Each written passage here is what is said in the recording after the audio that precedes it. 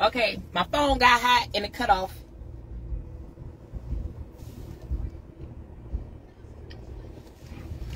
Come on back, come on in the room. That devil don't like that. That devil don't like that. Okay, let me pick up from where I left off, y'all. Go ahead and invite and share again. Um, this will be part two, I guess.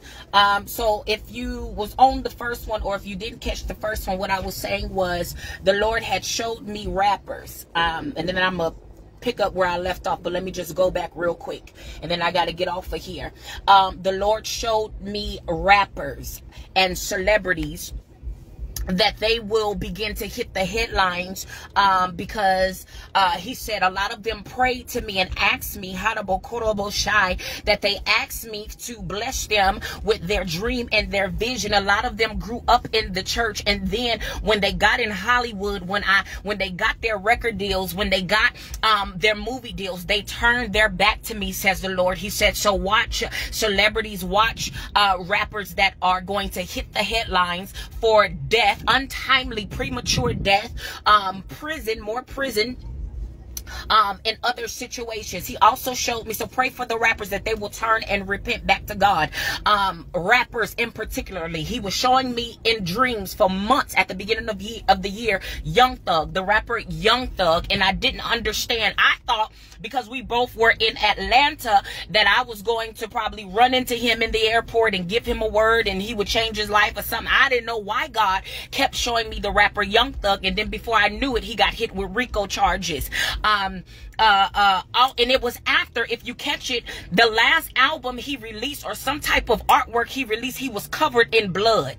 If you look at the artwork, Young Thug, right before they picked him up for the RICO charges, he was covered in blood. And I said, God, this is why you keep showing me this man. I'm praying for his soul. I'm praying that I run into him so that I can speak a word and he'll turn back to you because he knows who you are. He said, yes, a lot of them know who I am. A lot of them, shy. a lot of rappers know who I am for they are PKs. They have praying grandmothers. They mama, they daddy kept them in church and I blessed them and they turned their back and gave their, the horrible shot, gave their talent to the devil. And so more celebrities, particularly rappers, will die. More rappers will end up in the headlines for negativity. He also showed me Bishop Whitehead, which was the one that hit the news um, because he was originally, he hit the news originally because he was robbed in his church. And we started feeling bad for him, saying, How dare somebody come into the house of God and rob a preacher? But things didn't seem right. Something in the milk was not clean. And then he hit the blogs again for choking a woman in his church. And the Lord gave me a dream. He showed me Bishop Whitehead in a, a mansion, in a home, preaching in his home. And a big black crow came in his home and started tearing down the ceiling, started poking the ceiling and the ceiling started to cave in. The wall started to fall. And he said, it's going to start with Bishop Whitehead because he shall have judgment. Judgment shall come to him while he still has breath in his body. Some of y'all ain't going to wait to see judgment when you die. Some of y'all going to be judged while there is still blood flowing in your body. He says, I'm about to judge Bishop Whitehead, but it's about to be like a domino effect. For I, for judgment shall come to the false prophets. I shall not say the body of Christ because they are not a part of the body of Christ, but they are what the Bible has warned us when it talks about false prophets. But God says that judgment is about to hit the false prophets and those who have deceived my people. He said judgment is coming to the leaders, high and low, the ones you least expect, the ones that you have made your God, high, the ones that you have made. See, there's a difference between honoring your leader. There's a difference between honoring your man or woman of God and then worshiping them like your God. He says there is judgment coming. There is judgment coming not only to the false prophets, but to the gospel singers. The gospel singers who have released a perverted performance. There is gospel singers who have no authentic oil, but they have released a perverted praise. The Bible says that the Lord inhabits the praises of his people. God takes praise and worship very seriously.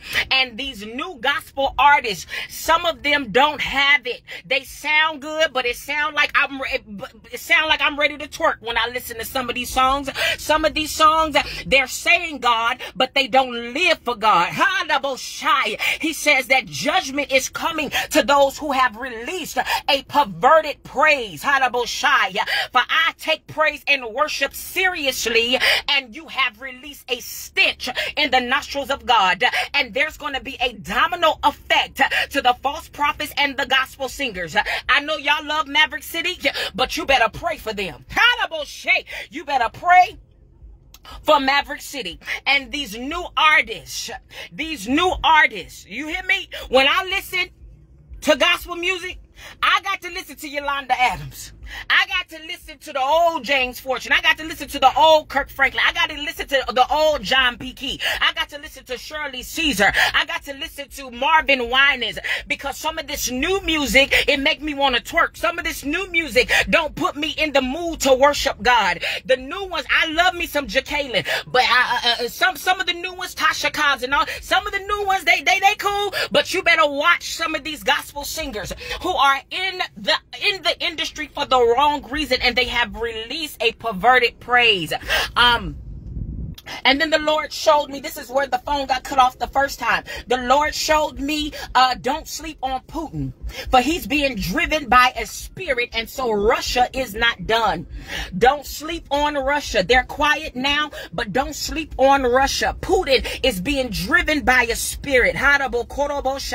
Don't sleep. Don't sleep on Russia. Also, there is a hurricane. There is a storm that is coming. It is on the rise and is scheduled uh, to go through the Caribbean and then hit Florida. He said the same way the storm, the physical storm is coming to do a wipeout. That's the same thing I'm about to do in the body of Christ.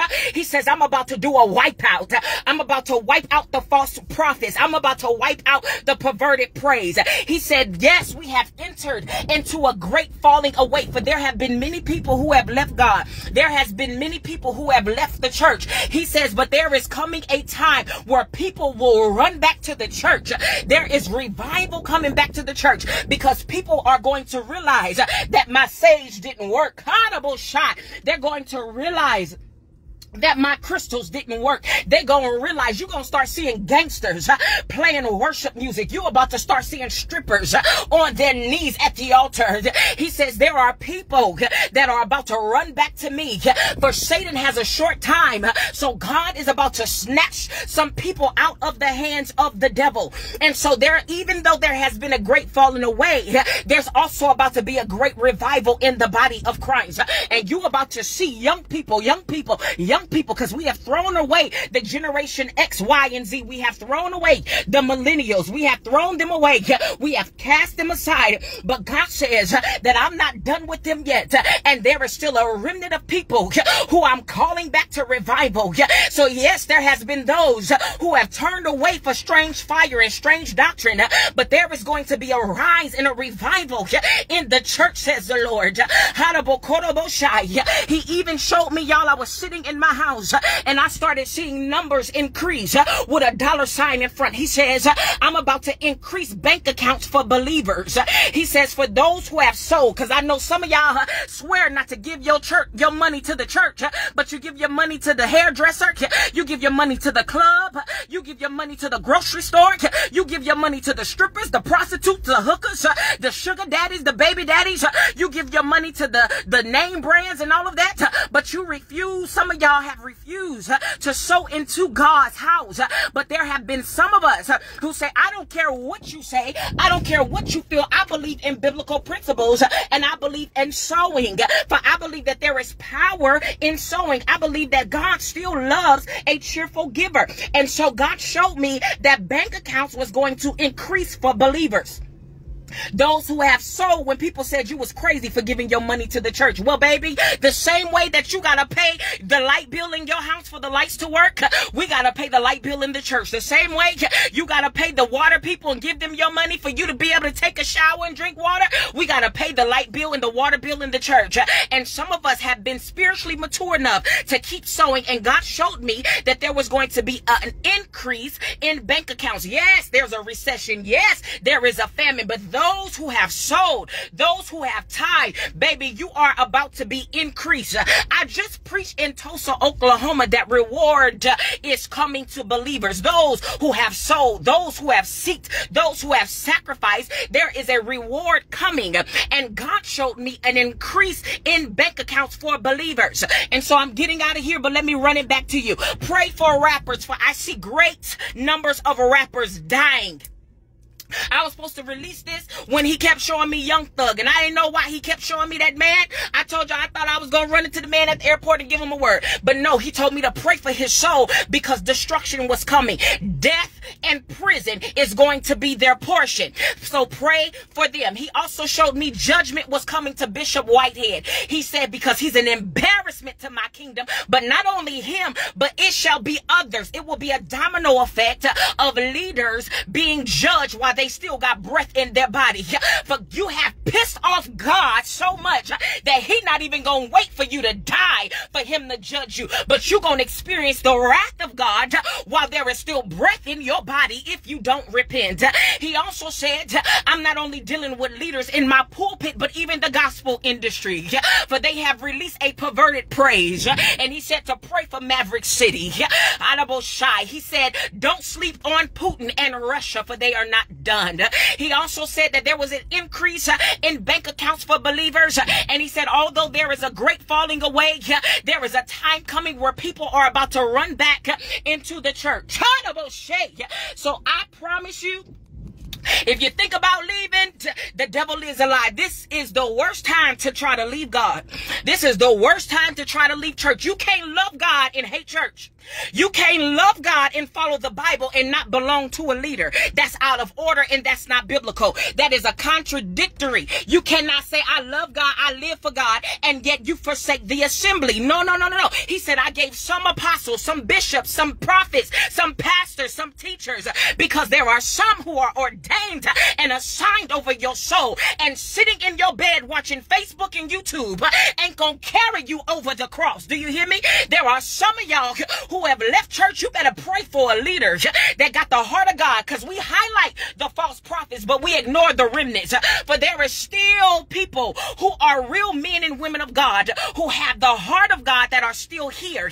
And yet we look at people like Bishop Whitehead and we look at the leaders who are cussing in the pulpit. We look at the leaders who are having 10 kids with the pew members. We look at all of them and we say, oh, and we look at the ones who are doing money grabs and all of that. And we use that as an excuse for us to turn our back to God in the church. But you are left without excuse. I hear the Lord. You are left without excuse in this season. For judgment is coming, says God. And you got to have your house in order. You can't stand before the Father and say, hey, I left church because of so and so. I left church because they was doing this and doing. He said, no, what did I tell you to do? There are some of you who are out of your position when God has called you to write the book. God has called you to start the ministry. God has called you to serve that leader. God has called you to get on your face. But you have given more shy attention to things that don't matter than you have to God. And judgment is coming. shy. So you got to get your house in order. I got to go. I got to go. Pray for these rappers. Pray for the gospel industry. Shade. And this storm that is coming over the weekend, he said the same way we see it in the natural, we gonna see it in the spirit. The same way we see it in the natural, this storm, this hurricane, Ian, Ian, Ivan, uh, Ike Turner, whoever, the storm, the hurricane that's coming, he said the same way you see it in the natural, you shall see it in the spirit, because I'm about to clean house. Get your house in order. Get your house in order. Ha! Get your house in order because judgment is coming. But there shall be a great revival that's coming back to the church. There shall be a great revival coming back to the church. And God says, if you if you want to be an old washed up church person, you done with church because you'd have been hurt. Your feelings been hurt. You so mad with the church and the organization. Yeah, he said, if you don't come back, I'll raise up a crackhead. If you don't come back, I'll draw the drug dealers. If you don't come back, I'll draw the 21 year olds. I'll draw draw the club goers. I'll draw the killers and the murderers. If your little church self, you've been in church your whole life and you're so tired of the church, I'll overlook you and I'll go get people that don't look like you to serve me. For there shall be a great revival coming back to the church. I gotta go. If you in Atlanta or can get to the Atlanta area Friday, Saturday, and Sunday, hi double shy we are having our anniversary at uh somewhere i can't even think y'all because i feel the holy ghost Repent for the kingdom of God is at heaven. The kingdom of heaven, Shai, is at hand. Repent. We ain't perfect. We're going to always, always have something that we struggle with. But the more that you're in the face of God, the less you'll struggle with. The more I've noticed in this fast, the more that I'm at his feet, the less I'm, I'm worried about anything else. The less angry I am, the less irritated I am, the less frustrated, the less I want to pull up, the less I want to cuss out, the less I want to do whatever is outside of his will. When you stay at the feet of God, you'll stay out of trouble. We see people getting in trouble with God because they're not at the feet of God. They at the feet of the casino. They at the feet of the strip club. They at the feet of the bar. They everywhere else. But if you stay at the feet of Jesus, you'll see change and transformation like never before. I gotta go. If you can get to Atlanta this weekend with us, I'll be it'll be great to see you. For we shall have revival don't book me for your church if you don't want deliverance or healing and a real prophetic word. For I can't just preach houses and cars and checks. But if I tell you money is coming, money is coming. And God showed me increase is coming to the believers. If I tell you money is coming, because I don't play that. If I tell you money is coming, you better expect a check or an unexpected deposit to hit your bank account soon and very soon. But repent. I gotta go.